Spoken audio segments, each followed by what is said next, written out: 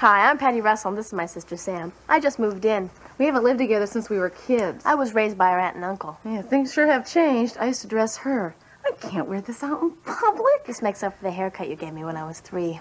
Everything starts like a knock at the door. You don't know what it is, but you know who it's for. That's the way we began, and there's no end inside.